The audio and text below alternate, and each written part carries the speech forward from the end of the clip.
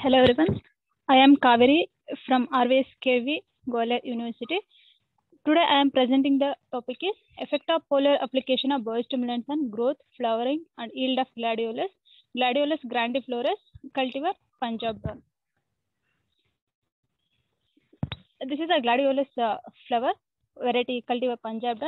The scientific name of gladiolus is gladiolus grandiflorus uh, and it's coming under the family Iridaceae. It's origi- originated in uh, South Africa.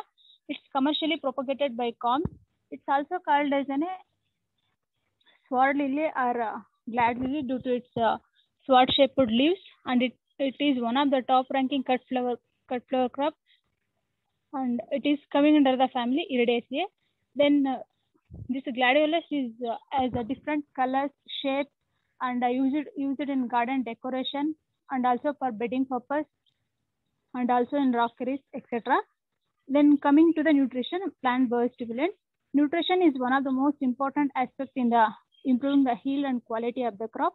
So plant biostimulants are uh, org- organic microorganisms in the form in which applied to the plant, uh, seeds or root environment with the intention to stimulate the natural process of the plant, which benefiting the nutrient use efficiency, tolerance to the abiotic stresses, and increase in the nutrient efficiency and uh, hormonal activity in the soil. Increase in the and it also tolerant to the abiotic stresses. Then uh, plant biostimulants are uh, humic acid, natural seaweed extract, and uh, natural seaweed extract. Then vermicompost, vermic natural seaweed extract, vermicompost, and then uh, after green revolution, we used most of the chemical fertilizers and uh, pesticides. So it will problem for the ecology and environment. So which uh, organic cultivation is the one of the best possible solution for this uh, best possible solution for this uh, uh, to re- reducing the environmental pro- problems. And then coming to the objectives it's uh, to study the effect of biostimulants and vegetative growth of the gladiolus and flowering of the gladiolus and corms and cormels production of the gladiolus. Then treatment details. Uh, there are nine treatments are there.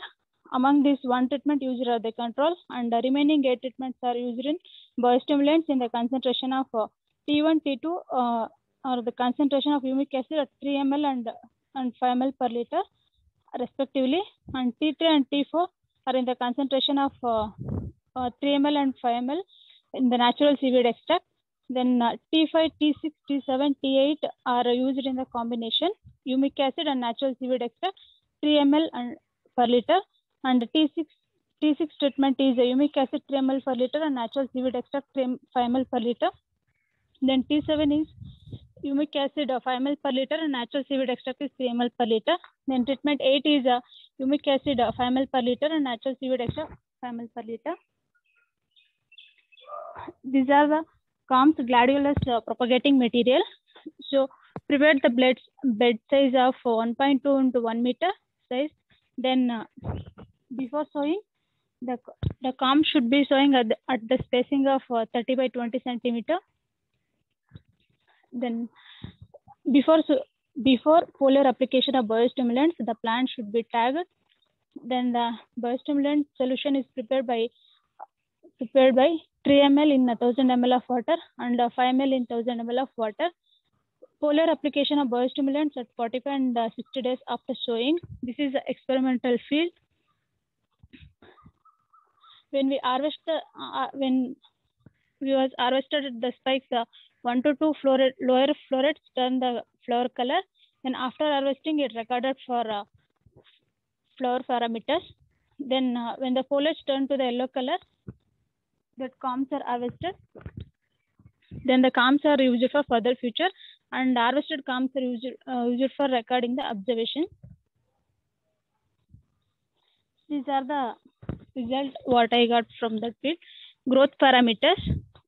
So I ma plant maximum plant height uh, in the tree treatment 8 and uh, number of leaves at uh, 60 days of planting and length of the longest leaf and width of the longest leaf. In treatment 8, I got good results and in corm parameters also number of uh, corms per hill and weight of corms per hill, number of cormels per hill and weight of cormels per hill. In treatment 8, I got the good result. In treatment 8, I used the combination of humic acid uh, 5 ml per liter and natural seaweed extract 5 ml per liter. These are the these are the flowering parameters.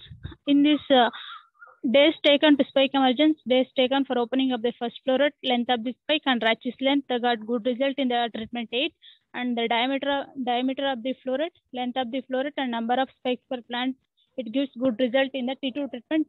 In T2 treatment, humic acid alone is used. Used in spike yield for plant, it gives good result in the T8 treatment. Conclusion it can be concluded that for getting the higher vegetative growth, flowering yield, and quality in the gladiolus, cultivar Punjab Dawn should be spread with the combined application of humic acid 5 ml per liter and natural seaweed extract 5 ml per liter. At application of 45 and 60 days after sowing of pump, and also alone application of humic acid at 5 ml per liter, it gives a good result. Thank you.